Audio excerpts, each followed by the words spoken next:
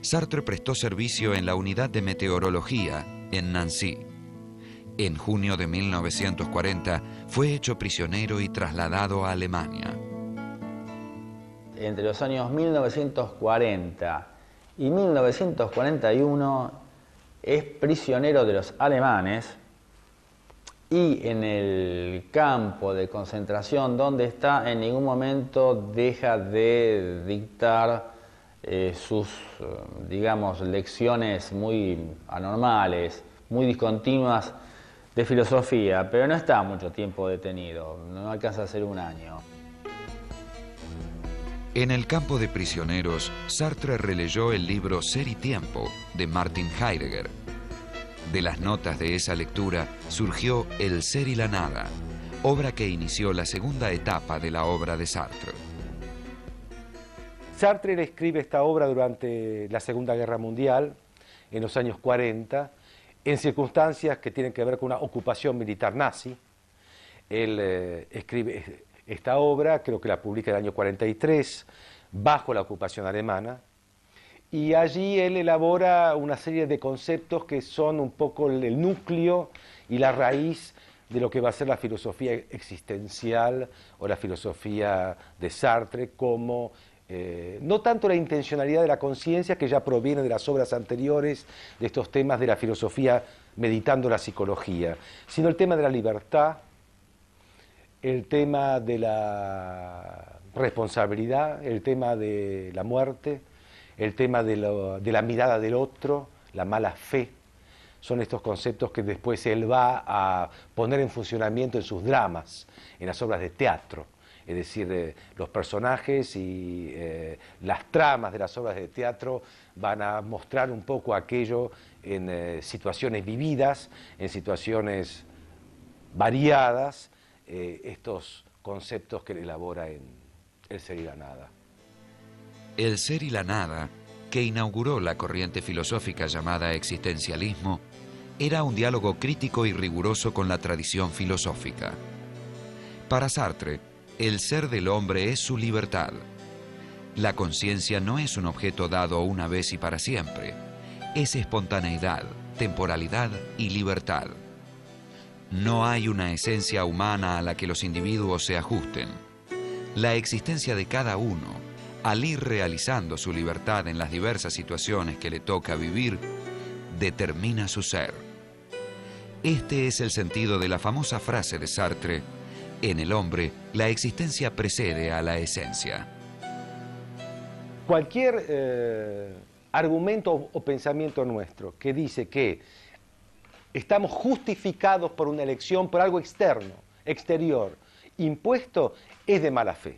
La mala fe consiste en eso, en tirar la pelota para afuera, en, eh, eh, en justificar nuestras decisiones por la decisión de otros, las decisiones son nuestras y eh, esa es la responsabilidad que nos da una libertad. Es decir, estamos condenados, famosa frase de Sartre, a ser libres. No podemos evitar ser libres.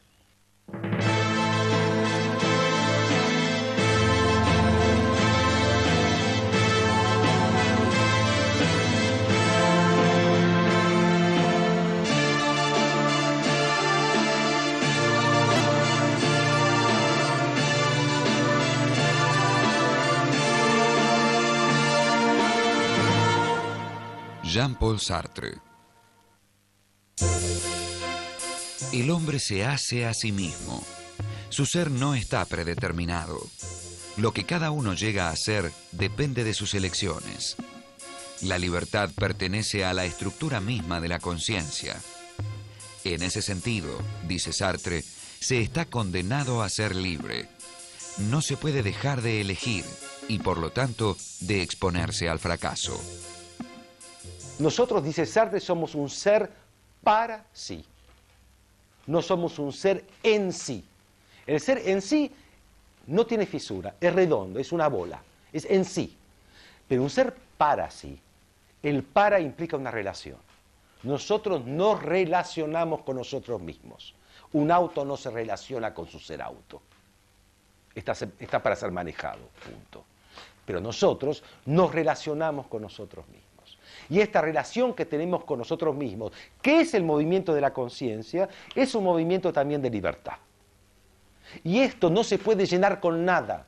No se puede llenar con lucha de clases, no se puede llenar con papá, no se puede llenar con inconsciente, no se puede llenar con nada. Estamos irremediablemente extraviados respecto de cualquier sustancia. No somos sustancia, somos sujetos, pero un sujeto partido. Hay que entender el final del ser a nada. El hombre es una pasión inútil en el sentido de que al no tener trascendencia, al no tener pasado, al vivir, un puro, un, puro, presente y que su futuro se resuelva en una serie de incertidumbres, eso da pie a que el hombre realmente se sienta a sí mismo como un ser arrojado, yecto, que es una, es este, una terminología muy cara a los existencialistas.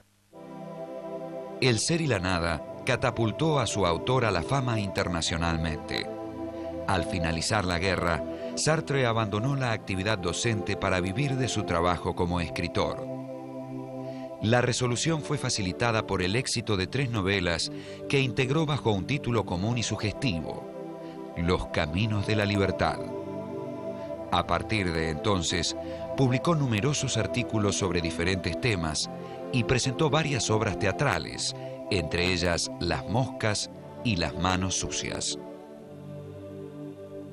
Las obras de teatro reflejan constantemente cuáles son los malestares de la sociedad contemporánea y en este sentido tal vez la obra de teatro más decisiva, que más trascendencia tuvo y que muchas veces se representó inclusive en Argentina, es Las Moscas, en donde hace una relectura de la tragedia que sufre la ciudad de Tebas y la transmite a la tragedia que viven las ciudades europeas acosadas por la guerra. En este sentido, Juan Pablo Sartre asume la muerte de Dios, declara que el mundo que nosotros vivimos es un mundo vacío, un mundo sin ningún tipo de trascendencia, un mundo en el cual el hombre no tiene ninguna responsabilidad trascendente salvo tal vez sus coetáneos, y esta trascendencia, esta falta de trascendencia la debe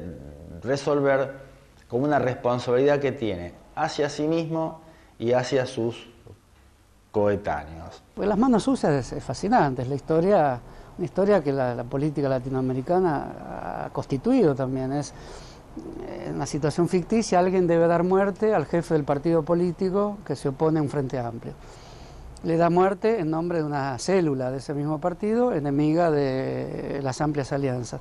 Con el tiempo, esa misma célula toma la política de alianzas amplias, pero el que lo mató al jefe partidario va preso. Cuando vuelve se encuentran con sus ex compañeros opinando lo mismo y haciendo lo mismo que el que él había matado, el famoso Joereder.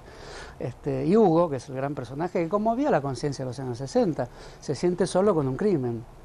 Entonces el, este, el, crimen aparece entonces con ese sentimiento de gratuidad. Él eh, piensa, diría lo griego, trágico, lo piensa en términos de una conciencia política abierta, superpuesta, como digo, paradojal, es decir, que tiene varios sistemas de finalidad al mismo tiempo y ninguno cuenta con la garantía de, de, tener su, propia raíz en la, en la autenticidad, en la racionalidad. Y la vida sería así, ¿no? En 1945, Sartre pronunció una célebre conferencia. El existencialismo es un humanismo.